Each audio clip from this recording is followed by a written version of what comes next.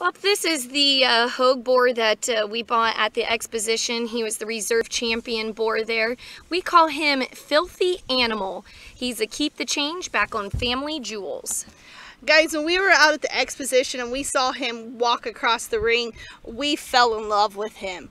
We thought he was a standout out there, just in terms of how flexible he gets out and moves. As you watch those running gears, he just takes a really long, flexible stride. He's up-headed, really attractive in that makeup, really good in terms of muscle shape up over that top. You get on the backside of that, that blade, a big old groove down that loin edge. Really good in terms of center body dimension. He is different for most Burks in terms of just how clean made he is. He's just so crisp in his lines, attractive and extended up through that neck. So able stylish. To, yeah, very stylish. And you know, that's what we have to work with in Burks. So sometimes, you know, they get a little jowly on us.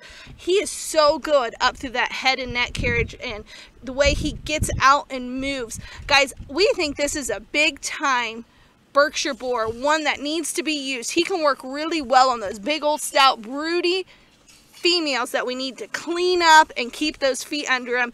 You know, if you're out in that big ring driving one that's getting out and moving and looking like him, you're going to have a lot of fun at the end of the day. Yeah. So again, he's out of keep the change. So we called him ya filthy, filthy animal. animal.